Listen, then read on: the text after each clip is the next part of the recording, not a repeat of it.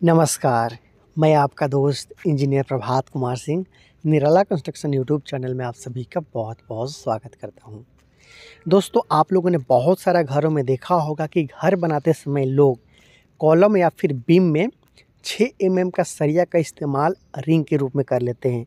तो क्या ये सही है या फिर गलत है, इसी के बारे में मैं आप लोग को आज बताना चाहता हूँ, क्योंकि ये गलती है वो बहुत सारे लोग आजकल कर रहे हैं और कमेंट बॉक्स में भी बहुत सारे लोग करते हैं कि ये सही है या फिर गलत है। तो जैसा कि आप यहाँ पर देख रहे हैं कि ये घर बनाया जा रहा है और इसके साथ साथ जो इस घर का प्लिन बीम है, जिसे हम लोग आम भाषा में कुर्सी लेवल का बीम बोलते हैं। उसमें जो सरिया लगाया गया है, पहले इसके बारे में जानते हैं, फिर हम लोग रिंग के बारे में जानेंगे। तो यहाँ पे देख सकते हैं कि चार सरिया के साथ इस बीम को बनाया जा रहा है। दो सरिया है, वो नीचे में लगाया गया है और दो सरिया ऊपर में। ये चारों सरिया जो आप देख रहे हैं, वो 12 एम का लगाया गया है और इसके साथ साथ ये जो रिंग का इस्तेमाल किया जा रहा है, ये देख सकते हैं 6 एम वाला रिंग का इस्तेमाल यहाँ पे किया जा रहा है। और उसके साथ साथ मैं आपको ये भी बताना चाहता हूँ कि ये जो सरिया है, ये बिल्कुल चिकना वाला सरिया, बहुत सारे घरों में आप लोगों ने देखा होगा कि चिकना वाला सरिया का उपयोग भी घर में लोग कर लेते हैं, जो कि सरासर दोस्तों गलत है।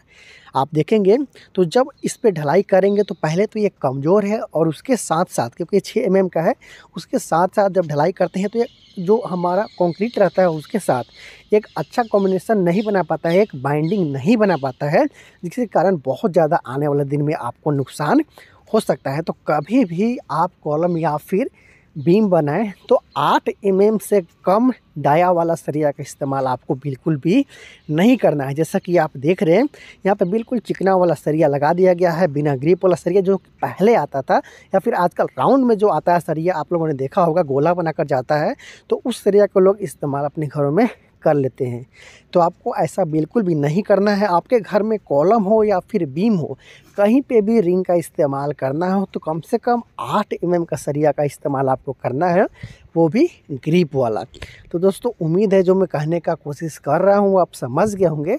अगर ये वीडियो अच्छा लगा है तो प्लीज़ वीडियो को लाइक करने के साथ साथ चैनल को सब्सक्राइब ज़रूर करें, ताकि आने वाले घर बनाने से संबंधित वीडियो आप आसानी के साथ देख सके। मिलते हैं अगले वीडियो में, तब तक के लिए, इंजीनियर प्रभात और पूरी टीम को दीजिए इजाज़त। नमस्कार।